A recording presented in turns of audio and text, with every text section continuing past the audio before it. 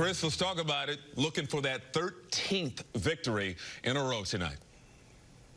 Well, the extra bagel's always nice at the bagel shop, Michael. That's a uh, 13th baker's dozen, and a 13th win for the Yankees would be nice as well. We talked to Aaron Judge on the field last night, and you know he said confidence is high with this Yankee club right now, and why wouldn't it be with a dozen straight wins? The offense is clicking on all cylinders, five and a half runs per game during this streak. And something that's very cool, Nestor Cortes, tomorrow night's starter, ever since he's been a starter and in the rotation, he's been able to be in the dugout. I asked him earlier today what it's like to be in the dugout and what the vibe is like with this Yankee team during the streak.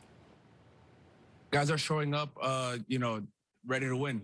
Uh, you know, they're confident in what they've done and uh, the work they put in.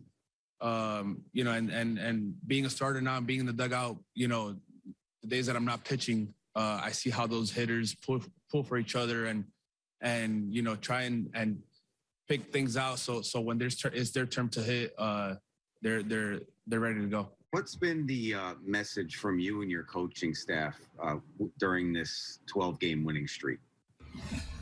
Um, not much different, frankly. I mean, it's you know we're in a good place as a team as far as um, you know, I feel like the guys focus and process and, you know, how they're working. Um, so really this is just, hey, what can we do to help us win a ball game tonight? And, and I feel like, um, you know, everyone is keenly focused on that. And that's, and I feel like everyone's, you know, kind of has that mission and that focus. And so there really hasn't been much to, to say in, in that regard from my standpoint.